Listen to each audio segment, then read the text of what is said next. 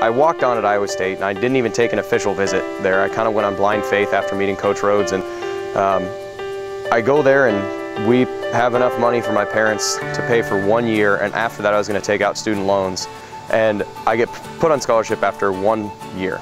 And then I, they pay for the rest of my undergraduate degree and they pay for the first semester of my graduate degree and I'm looking and I know that graduate school is not cheap and all of a sudden this opportunity pops up and I get recommended and nominated for this award and I got to come out of Iowa State with two degrees and zero student debt and I understand that that the that never happens. There is no one across the country that gets that type of opportunity. So I'm extremely appreciative and aware of how lucky I am to receive that award.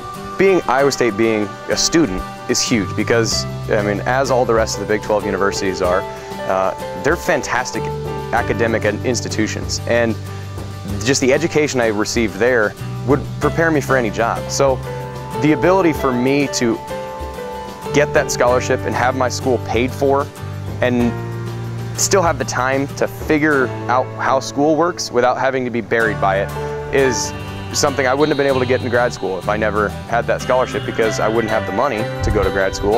I also wouldn't have the time to figure out how school works to get to grad school. We as student athletes, the majority of us are taking school seriously and are actually harnessing what we've got with, whether it's half, 20% or a full ride scholarship to be at the school for sports and make ourselves better both physically and mentally.